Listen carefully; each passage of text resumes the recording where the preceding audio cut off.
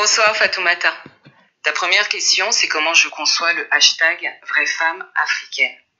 Alors, selon moi, en lançant ce hashtag ce début d'année et à quelques jours du 8 mars, la journaliste ivoirienne et militante féministe Bintou Mariam Traoré et ses camarades nous ont fait un très beau cadeau. Pourquoi? Parce que ce hashtag pose des questions simples mais puissantes.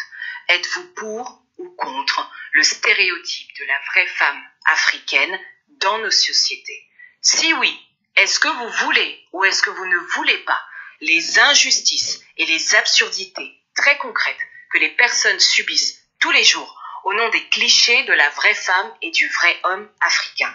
Le succès de ce hashtag depuis quelques jours nous montre que beaucoup de citoyens se sentent concernés par la question du changement du côté des droits des femmes, de la condition des femmes, des relations hommes-femmes. Nous avons affaire à un phénomène inédit parce que nous avons des femmes et des hommes de plusieurs pays qui parlent de nos réalités sociales, qui lèvent des tabous et des non-dits avec humour, mais en vérité. Alors, qu'est-ce qu'on a découvert?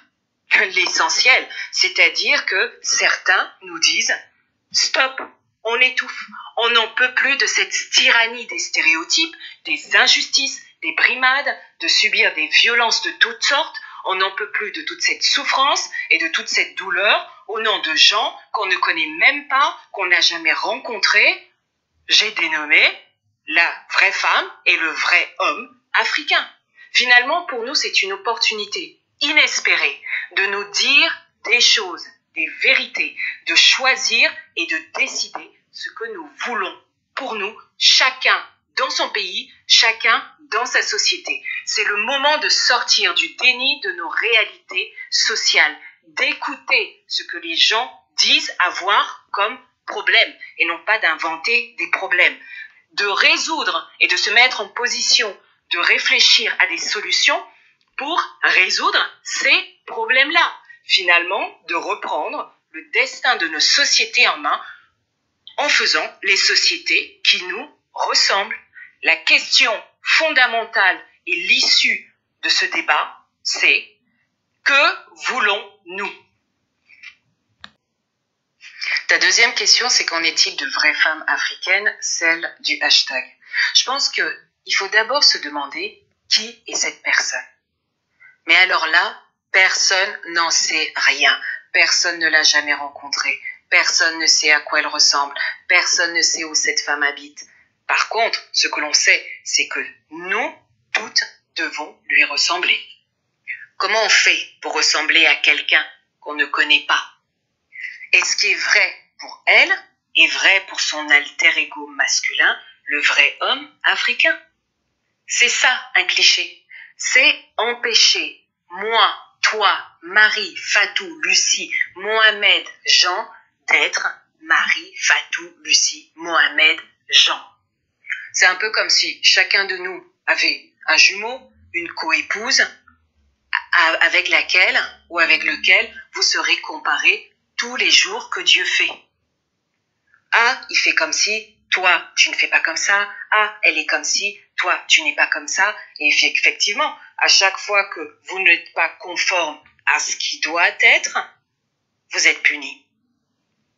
Maintenant, qu'est-ce qui doit être Quand on regarde, quand on lit les postes, ça se confirme. Nous avons affaire à un certain nombre de commandements qui sont contradictoires. La vraie femme africaine est robuste, endurante. Ah, mais pourtant il faut la protéger, hein, parce qu'une femme n'a pas le physique d'un homme. La vraie femme africaine, elle supporte tout, elle peut tout supporter. Ah, mais oui, mais quand même, hein, elle est euh, psychologiquement instable et puis très, très, très irresponsable.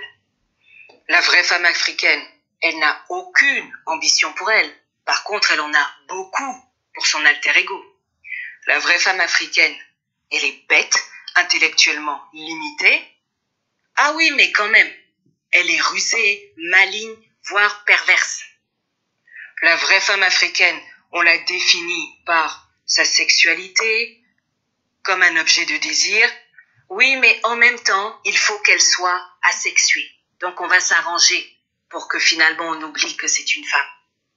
La vraie femme africaine, c'est la mère, elle se définit par la maternité. Mais d'un autre côté, comment on la traite dans cette question de maternité Comme les poules? Voilà, elle, elle pond les enfants. Il n'y a pas besoin de conditions obstétricales qui soient bien. Il n'y a pas besoin de gynécologue. Il n'y a pas besoin de, de, trop perdre du temps sur ces histoires-là. Elle pond les enfants. On peut encore les énumérer, les énumérer. Ce qui est certain, c'est que cette définition de la femme africaine, cette norme est contraignante, elle est limitante, elle lui retire toute sa dignité. La dernière question, c'est Et la femme en 2020, que fait-on pour qu'elle puisse euh, s'épanouir pleinement? J'ai d'abord envie de dire une chose. Quand on a pris conscience de ce que vivent les gens, de quand on prend conscience et que l'on entend ce qu'ils disent, on étouffe, on n'en peut plus. Certes, c'est pas tout le monde, mais il y en a. Nous n'avons pas d'autre choix que de desserrer les taux, de desserrer les taux qui empêchent les gens d'être ce qu'ils sont, de vivre la vie qu'ils ont envie de vivre. Vouloir autre chose, c'est vouloir une société qui aura dans son ADN fondamentalement l'injustice. Maintenant, sur la femme africaine de 2020, j'ai envie de dire, elle existe déjà. C'est vous, c'est moi, c'est nous toutes. Et c'est parce qu'elle existe déjà que maintenant il y a un malaise avec l'autre là, la vraie femme africaine que personne ne connaît. Toutefois, il y a une chose, tout de même, je pense, qui peut permettre de définir la femme africaine de 2020, c'est la dignité. Parce que ce qui est réclamé là, maintenant, c'est la dignité de chacune d'entre nous. Chacune réclame de la dignité dans ses choix. Elle veut aller travailler, elle veut pouvoir le faire dignement. Elle veut rester à la maison, elle a le droit de le faire et elle veut que l'on accepte qu'elle puisse le faire dignement. Comment on fait pour que chacune de ces femmes, quel que soit le choix de vie qui est le sien, puisse le vivre librement? Sociétés. Certes, il y a le travail des mentalités, mais la vraie question, celle que nous repoussons tout le temps, c'est une question politique et juridique. Il faut abattre une après une toutes ces lois qui restreignent notre liberté. Nous ne voulons pas être, comme dirait un vrai homme africain, des dévergondés. Non, nous voulons juste vivre la vie que nous avons choisi de vivre. Et je dis bien, quels que soient nos choix. Nous ne serons épanouis quand on nous aura construit la société dans laquelle nous pouvons chacune nous exprimer et chacune apporter ce que nous avons à apporter à notre société. Ça passe, qu'on le veuille ou non, par le droit, par la politique.